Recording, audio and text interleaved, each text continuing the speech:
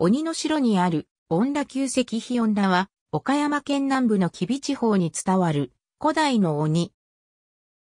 本校では恩田の解説とともに、恩田と吉備津彦の命に関する、恩田伝説についても解説する。恩田とは伝承上の鬼、人物で古代吉備地方の統治者であったとされる。鬼神、吉備家者という意匠があり、伝承によると、吉備には吉備津彦の命が派遣され退治されたという。伝承は遅くとも、室町時代末期には、現在の形で成立したものとみられ、文書には数種類の縁起が伝えられている。また、この鬼退治伝承は、桃太郎のモチーフになったとも言われるが裏付ける資料等は見つかっていない。吉備地方の平野伝承によると、恩らは異国から飛来して、吉備に至り、製鉄技術を吉備地域へもたらして鬼の城を拠点として、一帯を支配したという。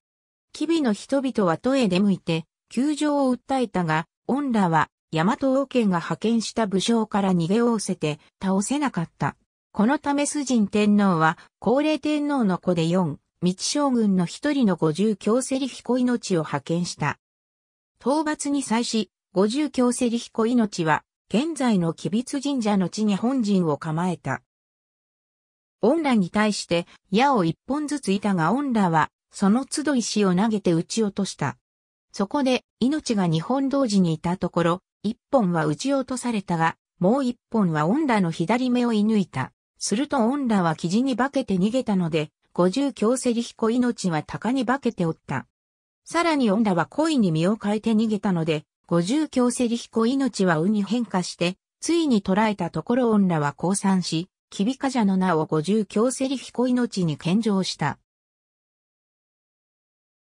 これにより五十強セリ彦命は吉備津彦の命と呼ばれるようになった。撃たれた恩らの首はさらされることになったが、撃たれてなお首には正気があり、時折目を見開いてはうなり声を上げた。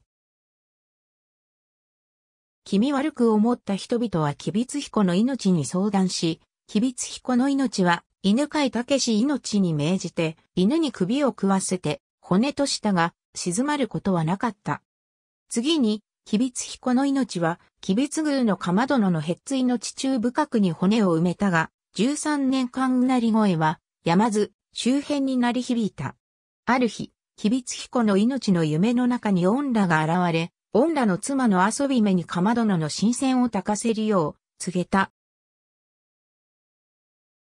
このことを人々に伝えて、神事を取り行うと、うなり声は静まった。その後、恩らは吉凶を占う存在となったという。この釜殿のの精霊のことを、牛虎岬と呼ぶ。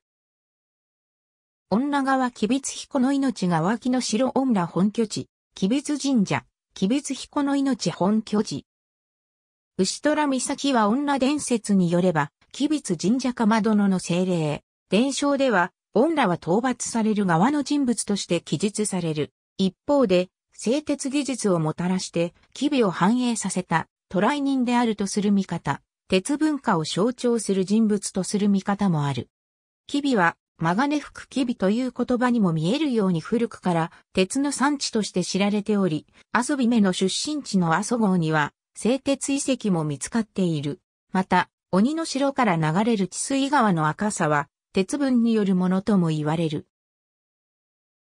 また、秘密神社の本来の祭神を恩羅であると見る説もある。この中で、大和王権に、吉備が服属する以前の同社には、吉備の祖神、すなわち恩羅が祀られていたとし、服属により、祭神が入れ替わったと推察されている。ありがとうございます。